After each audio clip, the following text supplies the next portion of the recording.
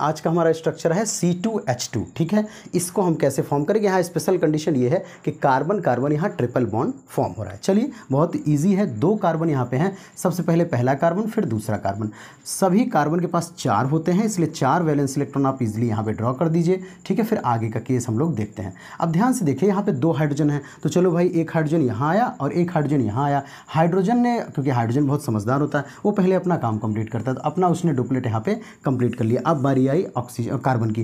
Carbon के पास देखो तो बड़ी समस्या हो रही है क्योंकि यहाँ ये इलेक्ट्रॉन तो बॉन्ड बनाएगा, इनके पास तो कोई है ही नहीं है, ठीक? और वही हल इसका भी है, इस कार्बन का भी है नया हाइड्रोजन है नया हाइड्रोजन है। तो ये क्या करते हैं? आपस में शेयर करते हैं, ठीक? इन्होंने क्या किया?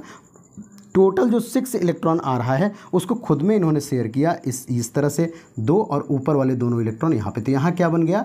ट्रिपल बॉन्ड बन गया। अब बात करते हैं ऑक्टेट की। ध्यान से देखो, यदि हम इस कार्बन की बात करें तो यहाँ पे ध्यान से देखिए, टोटल सिक्स इलेक्ट्रॉन यहाँ पे हैं और दो यहाँ हैं। ऑक्टेट यहाँ कार्बन का कंप्लीट हो गया। हम इस कार्बन की बात करें तो ध्यान से देखो छः इलेक्ट्रॉन अंदर और एक इलेक्ट्रॉन यहाँ पे बाहर जा रहे हैं। तो इस कार्बन का भी ऑक्टेट यहाँ कंप्लीट हो गया। और ये हैं शेयरिंग वाले इलेक्ट्रॉन, जो थ्री जो है इस कार्बन के हों थ्री इस कार्बन के हैं। तो कार्बन यहाँ क्या बनाया है? ट्रिपल बॉन्ड बनाया है। ये सी टू एच टू है, यानी एथाइन हम इसको कहते हैं, एसिटिलीन गैस होता है और बहुत यूज़फुल होता है वेल्डिंग के केस में। Okay thank you